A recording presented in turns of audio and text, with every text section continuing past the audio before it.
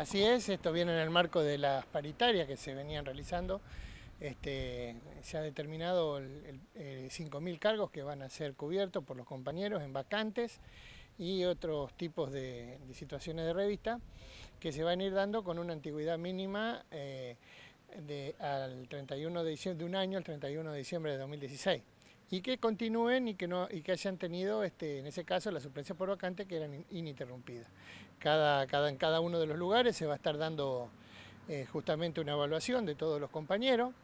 Eh, cabe recordar que para esto, de acuerdo al, régimen jurídico básico y a la 98-92, este, los compañeros que, tienen, que van a ingresar eh, no tienen que tener sumarios ni sumarios en trámite, que en ese caso, bueno, serán, de, de haber algún compañero que esté en esta situación, va a ser este, va a ser eh, tomado luego del sumario de acuerdo a cómo salga el sumario. ¿no?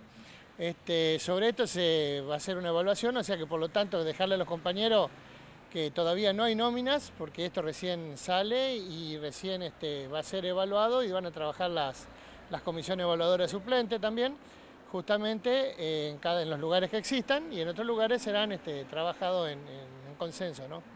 ¿Tienen alguna idea de cuánto corresponde a la ciudad de Concordia para que van a pasar a planta permanente? No, no, todavía no, todavía no, no, no porque no se han realizado los, este, los, cortes, como se les llama, y a partir de ahí que salgan las nóminas, seguramente vamos a ir teniendo en cuenta la cantidad de cargo vacante.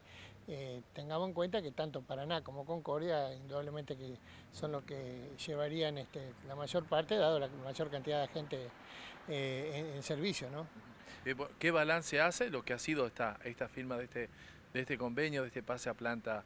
Algo que lo vienen reclamando hace mucho tiempo por parte del gremio. Sí, ya viene, ya viene, ya viene hace varios años que se viene tratando el tema. Ahora este, yo creo que, se ha dado, se ha dado este, una buena, es bueno esto para los compañeros, este, pero es algo que se había dilatado bastante y que, bueno, con un buen tino este, el gobierno con, los gremios este, ha, podido este, llevar adelante esto, ¿no? Es una buena noticia para muchos compañeros.